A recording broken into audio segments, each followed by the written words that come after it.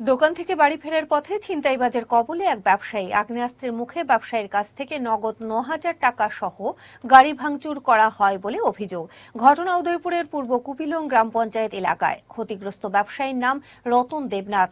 তিনি আঠারোমুড়া বাজার থেকে কুপিলং যাওয়ার পথে ঘটে এ দুর্ঘটনা। কুপিলং এলাকায় এ ধরনের ছিনতাইয়ের ঘটনায় স্থানীয়দের মধ্যে তীব্র আতঙ্ক দেখা দিয়েছে।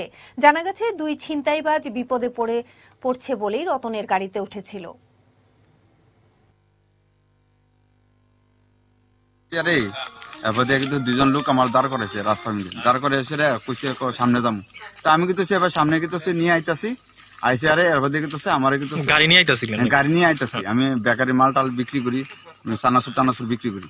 এবার দিয়ে কিন্তু কালেকশন টালেকশন করে অনেক সময় আমার কিন্তু এই আটরগোলা বাজারের আটটার কাছ দিয়ে আটকাইছে। আটকাইছে রে কইছে ক চলো সামনে যাম।